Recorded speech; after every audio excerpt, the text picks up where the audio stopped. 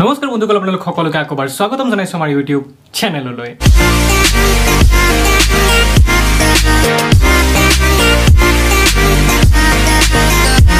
বন্ধুসকল আজি আমি কথা পাতিব ওলাইছো এইবাৰৰ ইণ্ডিপেণ্ডেন্স ডেৰ ওপৰত। যাৰ থিম হ'ল নেশ্যন ফাৰ্ষ্ট অলৱেজ ফাৰ্ষ্ট বন্ধুসকল এইবাৰৰ ইণ্ডিপেণ্ডেন্স ডেটোক আজাদী কা অমৃত মহোৎসৱ নাম দিয়া গৈছে। আচলতে সঁচা কথাটো ক'ব গ'লে এইবাৰৰ নিচিনা ইণ্ডিপেণ্ডেন্স ডে মই আগতে দেখা নাই।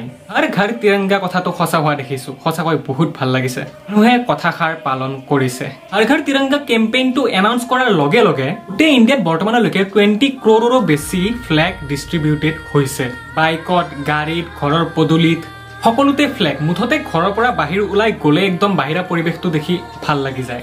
বন্ধুসকল এইবিলাক আছিল ভাল লগা কথা। যোনবিলাক কৈ ভাল লাগে শুনি ভাল লাগে আৰু দেখি ভাল লাগে। কিন্তু বন্ধুসকল কিছুমান বস্তু দেখিলে মাথাটো বেয়া হৈ যায়। ব'লা দেখাই আছো তোমালোককো। চাই লোৱা। এইখন ফটো চোৱা আৰু বাইদেউৰ হাতত থকা পতাকাখনো বহুত ভালকে চোৱা। ভাই ইণ্ডিয়ান ফ্লেগ ইণ্ডিয়ান ফ্লেগ হিচাপে থাকিব দিলেই ভাল লাগে। মই বুজি পাইছো আচলতে আপুনি কি ভাৱত এই ফ্লেগখন উপস্থাপন কৰিব বিচাৰিছিল।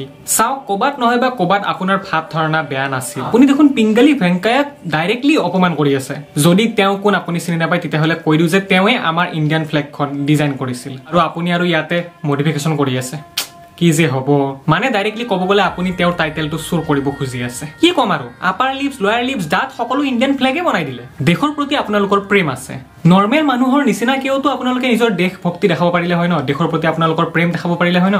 এই এবনৰ্মেল মানুহৰ নিচিনা কামবিলাক কিয় কৰে? ব'লা বন্ধুসকল এতিয়া নেক্সট ফটোখন চাওঁ। মূলা ভেন্দি গাজৰ। আৰু কিবা বাকী আছিল নে আৰে ভাই দহ টকা বিছ টকা এটা খৰচ কৰি কিনে ফ্লেগ এখন কিনি আনি তাতে যদি লগালা হয় কি গ'লে হয় তোমাৰ? ইউনিকনেছ দেখাবগৈ কিছুমান মানুহে মক্কেলামি কৰি ফুৰিছে। আৰু এইজনী বাইদেউ এইটো ফ্লেগ উল্টা কৰিয়ে দিলে। এইজনী ভাৰতীয় হয়নে? সঁচাই কৈছো বন্ধুসকল সন্দেহ হ'ব ধৰিছে মোৰ। বা ফ্লেগৰ অপমান ফ্লেগৰ ওপৰত পানী বটল।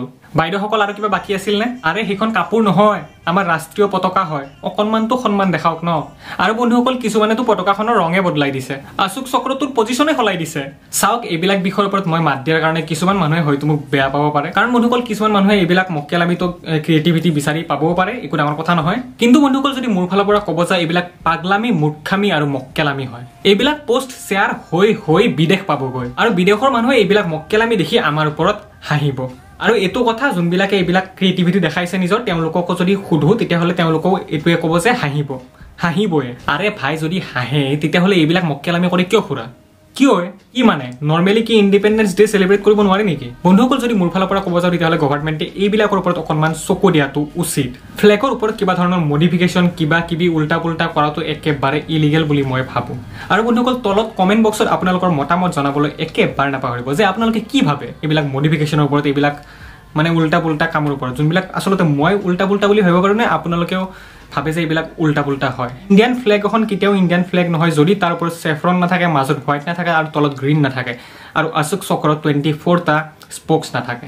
সেইটোৱে বুলি মই ভাবোঁ আৰু এইটোৱে মোৰ মনোভাৱ। যোনখিনি আপোনালোকৰ মাজত শ্বেয়াৰ কৰিলোঁ। তেতিয়াহ'লে বন্ধুসকল শেষত ক'ব বিচাৰিম happy independence day to all তেতিয়াহ'লে বন্ধুসকল ভিডিঅ'টো আজি এইখিনিতে সামৰণি মাৰিছোঁ। আৰু বন্ধুসকল ভিডিঅ'টোৰ শেষত কৈছোঁ যে ভিডিঅ'টো লাইক কৰি যাব একেবাৰে নপঢ়িবা চেনেলটো যদি আজি প্ৰথমবাৰৰ কাৰণে চাই আছা তেতিয়াহ'লে চেনেলটো ছাবস্ক্ৰাইব কৰি দিবা। আৰু কাষত যে আছে সেই বেল আইকনটো সেইটো ক্লিক কৰি অলপ শ্বেয়াৰ কৰি দিব একেবাৰে নপঢ়িবা তেতিয়াহ'লে বন্ধুসকল আকৌ লগ পাম অন্য এটা ভিডিঅ' সুধিছোঁ বাই বাই ষ্টে টিউন চুটকৈ বয় জয় অসম জয় হিন্দ।